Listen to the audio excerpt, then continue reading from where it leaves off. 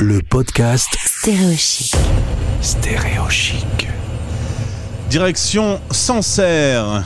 Les Français qui sont installés à travers le monde, évidemment, entendent ce nom de ville en frissonnant et en pensant au bon vin de là-bas. Bonjour, notre premier invité du jour, Bertrand, qui est avec nous. Bonjour.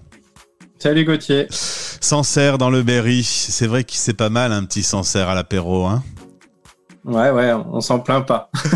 c'est pour ça que la ville est la plus connue, sans doute, à travers le monde. Ouais, c'est exactement pour ça. Généralement, on sait pas trop la situer, mais euh, on, sait qu'il y a du vin. Alors, c'est une petite famille. Ils sont quatre. Bertrand qui est avec moi, Lulu, Naé et Lilo. Euh, et à quatre, ils vont partir faire un demi-tour du monde. T'es honnête, hein Toi, tu dis un demi-tour du monde parce que pas mal disent faire le tour du monde et, et ne font que comme vous deux continents. Vous allez prendre votre sac à dos et partir pendant six mois en octobre 2023. Comment est né cette idée de partir en famille avec le sac à dos? Alors comment est née l'idée? Euh, On est déjà deux passionnés de voyage depuis un petit moment, euh, ma femme et moi. Euh, et puis bah avec la naissance des enfants et l'arrivée du Covid, les voyages ont été un peu ralentis. et suite à notre mariage au mois d'août cette année, on cherchait une destination pour pour le voyage de noces et on a décidé de ne pas choisir. Comme ça, vous allez tous les faire. c'est ça.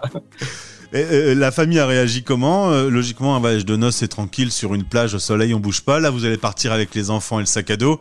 Euh, il y a eu des réactions euh, dans la famille quand vous avez annoncé que vous alliez faire ça? Alors concrètement, il savait que ce serait pas plage et farniente parce que ça ne ressemblerait pas et qu'on l'a jamais fait.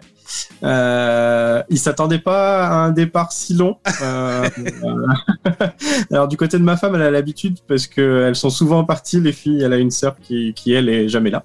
Euh, de mon côté, maman a un peu couiné. j'imagine, j'imagine. J'annonce à ma mère, elle me fait un drôle d'effet aussi.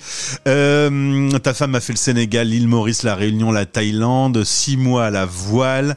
Euh, toi euh, tu as aussi déjà eu le virus avec le Costa Rica, le Pérou, la Bolivie. Ce sera pas votre coup d'essai, hein, les voyages non, non, on sait déjà, on a déjà fait. C'est plus notre coup d'essai avec les enfants, on va dire.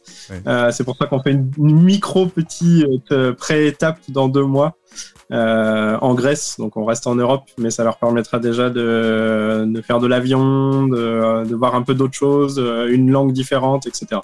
Puisqu'on trouve tout sur Internet, est-ce qu'on trouve des conseils pour voyager avec des enfants en bas âge? Ouais, ouais, on trouve. Euh, le site Tour du Mondiste nous a beaucoup aidé.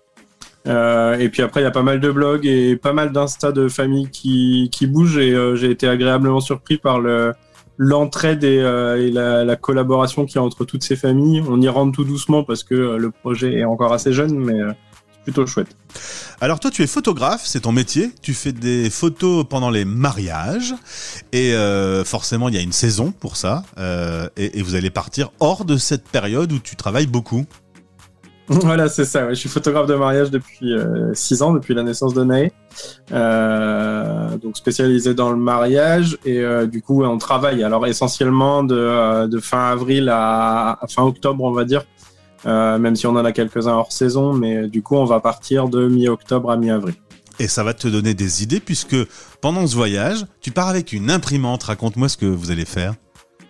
ouais, en fait, euh, il, y a, y, a, trois ans, j'étais parti au Les Autos euh, en partenariat avec l'Alliance française pour donner des cours photo dans une école.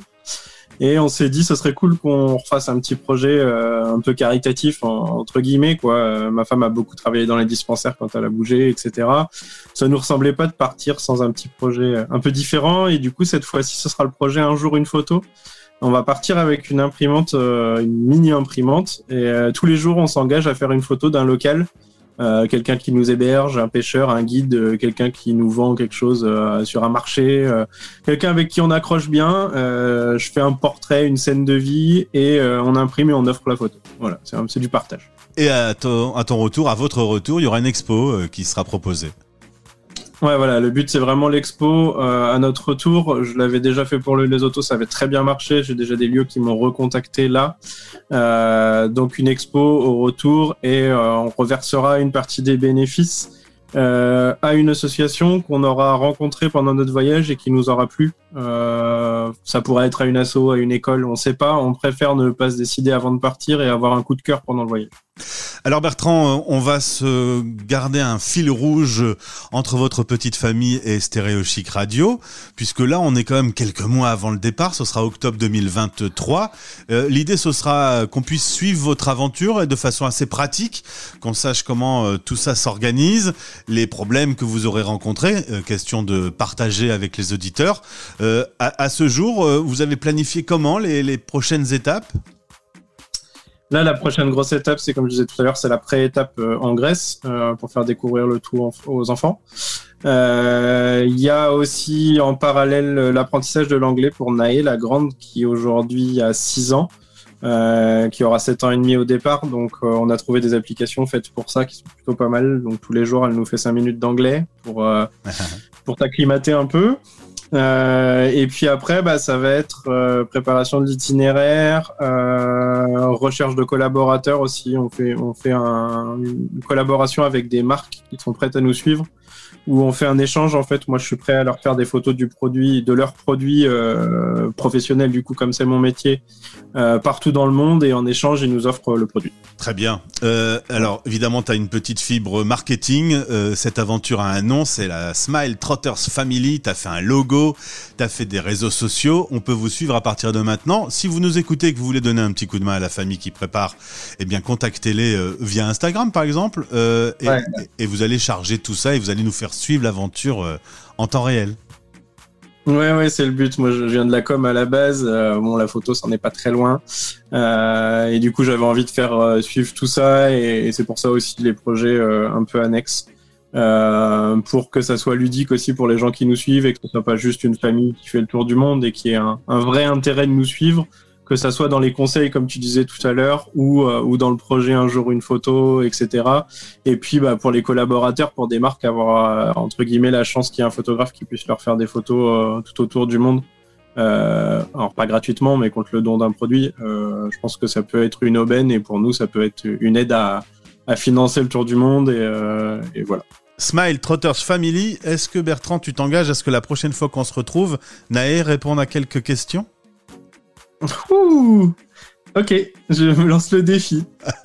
Ah, J'ai eu des enfants mais qui sont grands maintenant. À 5 ans, ils arrivent à faire des 5-6 ans, ils arrivent à, à- à répondre correctement à des questions, ça va aller, tu crois? Ah ouais, ouais, ouais, elle est très très en avance sur son âge. Eh ben très bien. Euh, Je, voilà. regrette, je, re- je regrette pas d'avoir proposé euh, ce challenge. Merci beaucoup et on vous suit donc à partir de maintenant sur Stéréo Chic. Belle journée merci à toi, belle journée à toi.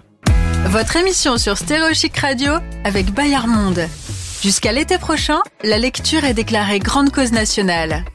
Chez Bayard, la lecture est une cause défendue chaque jour de l'année.